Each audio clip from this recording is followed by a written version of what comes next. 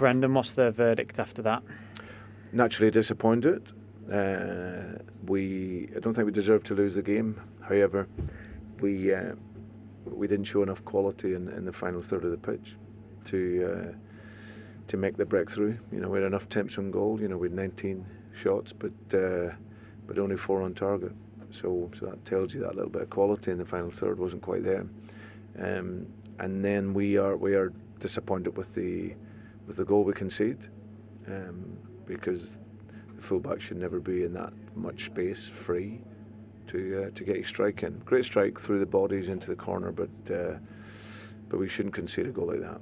Um, the VAR goal was disappointing because we had I felt we were deserving of that at that stage of the game. Um, not sure what the ruling is, but uh, but somehow it was it was it was disallowed, uh, even though both players unintentionally um, hand handballed. So uh, so yeah, it um, it didn't work for us. I know that there have been moments through VAR that have gone both for and against Leicester this season, but I think the general consensus is that that was a very harsh overruling of the goal. Yeah, and I think you can see from their players they, they weren't quite expecting it either. Um, and that would have put us in a great position and a deserving position in the game.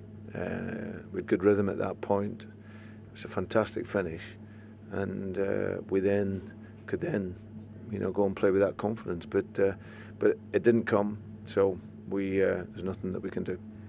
Obviously, perspective is a big thing. I think any Mm. Leicester fan would have taken this position with 10 games in the, Yeah. the Premier League to go. So there's still an awful lot to play for, isn't there? Yeah, yeah, no, we're we're still in a great position, but we can't dance around the truth either. You know, we uh, in this little last period we haven't been to our level, so we need to find that level again and finish this season as strong as we can, and just go into the next game and uh, and, and do as best we can.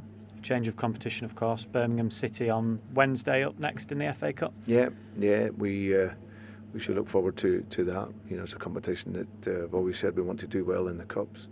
Got to one semi-final, and uh, we have a chance to get to a, a quarter-final. So uh, tough game again, but uh, but we need to uh, we need to take our opportunities if we're going to get through.